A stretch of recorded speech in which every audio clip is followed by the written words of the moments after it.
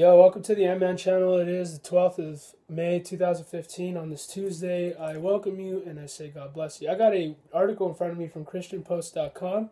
Uh, excuse me if I haven't been doing a lot of videos lately. I've been kind of sick and I just don't want to sound all like stuffed up and weird, you know what I mean? But like I've had a couple articles piling up because I've had a couple things that I've wanted to, you know, kind of like uh, uh you know, expound on or kind of like you know what I mean, um kind of weigh in on if you will. So you know, when you're given the Spirit of God, you're given discernment and you're able to talk about these things and know that, you know, the people of the world, they esteem each other because of their nice cars, their jobs, their degrees, and all that. But, um, you know, Jesus Christ, He gives us real wisdom and uh, we don't have to. We don't have to try to put up gimmicks for people to accept us because people will always try to uh, step on us to make themselves look better when we talk about morality today. Because we live in the postmodern era where no one's supposed to judge whatever's okay for you is okay for you, and whatever's okay for me is right for me. But this type of ideology does not, it's not uh, consistent, it's not good for the type of uh, country that we live in because we live in a republican form of government where the constitution, the pref, the you know the the all the the preface of all of that is that our rights are given from God and that there's morality. All laws are based on moral judgments and that we cannot believe that morality is relative and that truth is subjective. The truth of God's word is not up for debate. It is the absolute truth. It is the inerrant, infallible, sufficient, inspired word of God. And to and to question it is to call God a liar. It's to it's to show that you have no faith a lot of people these days they will put on a, a a facade for people so that they don't look bad but in reality they have no it's like what it says in the bible they praise me with their lips but their hearts are far from me. Uh, rend your heart and not your garment. Don't try to perceive don't try to just uh, project that you're a godly person you have to be godly on the inside. People don't necessarily see that. When you tie that church, people don't know if you're a giving person. That's something that only God sees. If you're giving for the sake of wanting to be seen, you have something wrong with your intentions. You need to have that fixed and you need to have that renewed by the Holy Spirit because the Holy Spirit will show you how to be pure in heart in all the things that you do. And that's the way that we honor God is that and we honor God in our thoughts, in our mind, and in our actions in our words, so that you know we follow the commands that we should love the Lord our God with all our mind, heart, strength, soul, and body, and all the rest. You know, we should do that because it's what brings us into the abundant life. It's what is the divine nature is to believe. You know, Jesus Christ was always, you know, the happiest. He was happy and content in life, even though he was always in trouble with people because they don't like what he says. Just like you and me, right? We get to share in that suffering that we're not going to compromise. We're going to be upright, even though people in our days don't believe that being upright and righteous is good. You should leave people alone. You should mind your own business. And all of this stuff is not true. We're prophets, we're priests. We should be uh, the ones weighing in. The Christian should be the one that's in the dark, the one that's trying to shed a light on there, the one that's trying to weigh in on these controversial issues that are making a lot of people confused nowadays.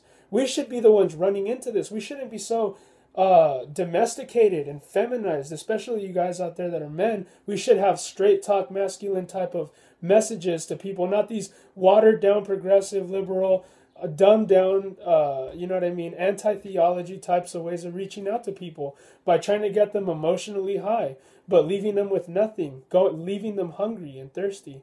Uh, we need to give them the truth of God's word. This is what really brings sanctification is the truth of God's word. It makes us right. It get, it wakes up our spirit. It it makes our conscience bears witness to the law that the Holy Spirit convicts us of. So we must work together and know that God is not there to hurt you or to be a cosmic killjoy.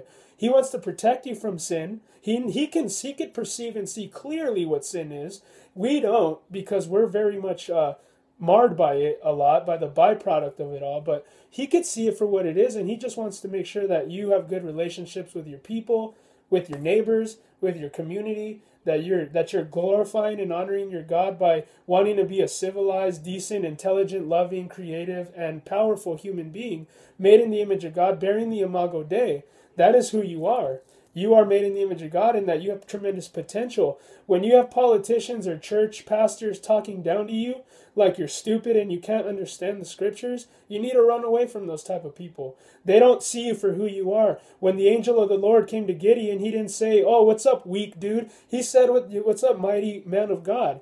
You know what I mean? Uh, was he acting like a mighty man of God at the time? No. But God can see you for who you're going to be and who He made you to be. So we should have eyes of faith to talk to people that way too. We shouldn't try to exalt ourselves by by by putting ourselves over others by talking down to them. And if you know church pastors that are like that, get away from them because they're not loving. They're they treat the church like it's a business. They have turned the house of God, the house of prayer, into a marketplace. They're not into uh, to to ministering unto you from a heart of of, of being there to feed the sheep and, and to provide for you. Uh, he's just there to do his job. And you know what I mean? Um, he's going to use psychology to try to boost your self esteem and get you emotionally high, entertain you.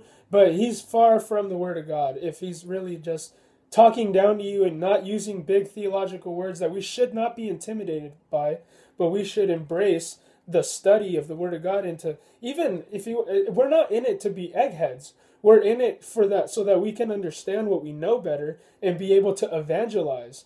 Because it seems like, you know, a lot of people don't evangelize today because they don't know how to defend their faith in the public. We have lost the authority of Scripture in the culture. So we're very much timid because a lot of people don't read their Bible, they don't pray, and it's evident because they're not evangelizing. They're not standing for their, their what they should be convicted of if they say that they're be- believers and followers of Jesus Christ. And I'm not being divisive. Well, the truth is divisive and it's exclusive, but I don't do it to divide. I do it out of love for the exhortation or of the truth of God's word. We need that. So, thank you for joining me. This is That Man Challenge. All I'm about. I don't do anything. I don't do this for the sake of entertainment, but to lead people to a knowledge of the truth that we could see things from a Christian worldview all of the things that go on today. So let's get into this article already. Christians who have avoided the culture wars may no longer have a choice with religious freedom in jeopardy.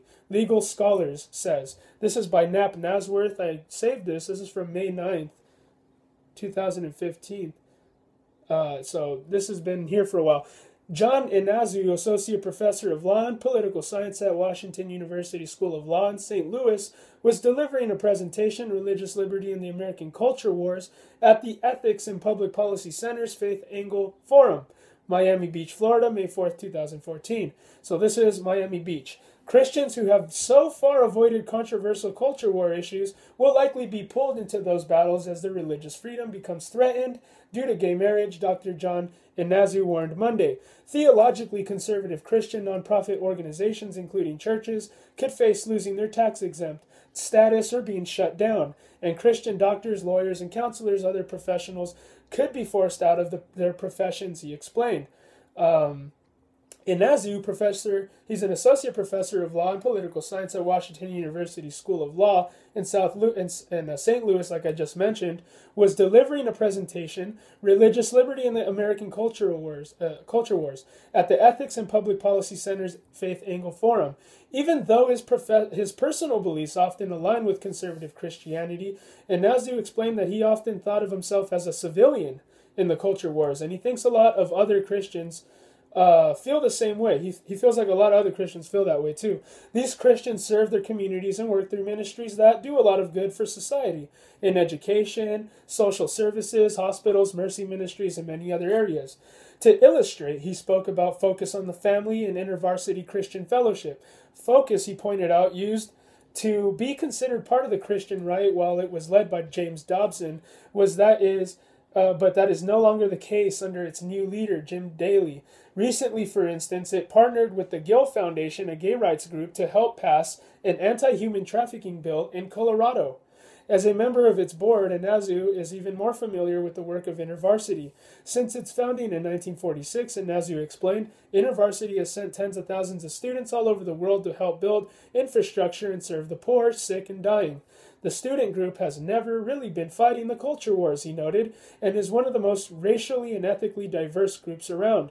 But InterVarsity has recently found itself on the culture war front lines as some colleges and universities have forced it off campus. Last year, for, for instance, all the state universities in California required the group to allow non Christians to be leaders to remain a campus group. Amazing. If the Supreme Court rules in June that the U.S. Constitution requires all, all 50 states to recognize same sex marriage, Inazu believes that the resulting religious freedom issues will depend much on how the opinion is written. He pointed to an amicus brief in the, in the case submitted by Douglas Laycock, a religious freedom expert and law professor at the University of Virginia Law School. Laycock argued in favor of same sex marriage, but warned the, the, the court about the religious freedom issues that would inevitably follow. He wrote, excuse me, for instance, must pastors, priests, and rabbis provide religious marriage counseling to same sex couples? Must religious colleges provide marriage co- uh, students housing to same sex same sex couples? Must churches and synagogues employ spouses in same sex marriages, even though much employees and be uh, uh, would be persistently and publicly flouting the religious teachings they would be hired to promote? Must religious organizations provide spousal fringe benefits to the same sex spouses of any such employees they do hire? Must religious social service agencies place children for adoption with same sex couples? Already, Catholic Charities in Illinois, Massachusetts, and the District of Columbia has closed its adoption units because of this issue. Definitely not a laughing matter. Religious colleges, summer camps, daycare centers, retreat houses, counseling centers, meeting halls, and adoption agencies may be sued under public accommodations laws uh, for refusing to offer their facilities or services to same sex couples, or they may be penalized by loss of licensing, accreditation, government contracts, access to public facilities, or tax exemption. For brevity, all footnotes have been removed. During the court's recent oral arguments on gay marriage, and as we recalled President Barack Obama's Solicitor General acknowledgement uh, or uh, acknowledged that some of these challenges are going to be an issue. If the court favors gay marriage, how much of an issue it will be depends on what Inazu calls the Bob Jones question.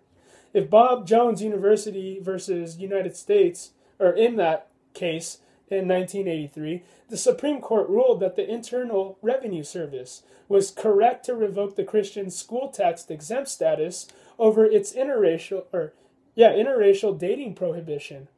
The analogy is important because gay marriage supporters often claim that opposition to gay marriage is bigotry mo- motivated by hatred. Okay. Because they can read minds and hearts. Because they can, like, I don't know, man. This is a sick culture, dude. Because like some people buy into this stuff. You know what I mean? They they everybody's a armchair psychologist. Everybody uses this like, you know, like this um, reverse psychology on people to try to. I mean, it's really a sick culture because what that points to is that a lot of people are narcissistic. They think a lot of themselves and they're they're critics of everyone else, but they're very easy on themselves. They don't lead by example, but they want to make they're totalitarian like. They want to make everybody do whatever they think, just like the environmentalists. They want everyone to go back to the Stone Age except for them. They could still have air air conditioning, heater, but they, they, they call you all, you know, you're all bad for the earth. So it's really like a totalitarian spirit behind all of that. That's not that's not a way to be a leader by telling people what to do when you're not disciplined enough to do it yourself. So um, let's see here. Now it is a good time to be thinking about the implications of the Bob Jones question whether we really think Gordon College in 2015 is like Bob Jones in 1983, that InterVarsity is like a neo Nazi group, and that Tim Keller is like the Grand Wizard of the Klan. If we think there are meaningful differences, then now is a good time to think harder about the rhetoric fueling some of these debates, Inazu said. Inazu has a book that will be published later this year Confident Pluralism Surviving and Thriving Through Deep Difference. Audio of his Faith Angle forum presentation is available on the Ethics and Public Policy web uh, Center website. A transcript will be posted later. Thank you for joining me. I think that this is a good thing to point out to some of us guys that call ourselves Christians. There is no sitting on the fence. There is no, I'm not into this kind of, uh, we're not libertarian. We're just defending our faith, being obedient to the command in uh, Peter, in the book of Peter, that tells us to have a have an answer for the hope that is in us. We're supposed to have a, a spirit of vigilance and uh, being, uh, you know what I mean? Just like soldier like, not militant like libertarian style, but we're supposed to be very, you know, driven by the truth, man. To want to, for the sake of people, right? Not because we're eggheads and want to beat up people over the head with it, but know that this uh, religious liberty is some liberty is something that has to be defended. It's not something that is free. Freedom ain't free.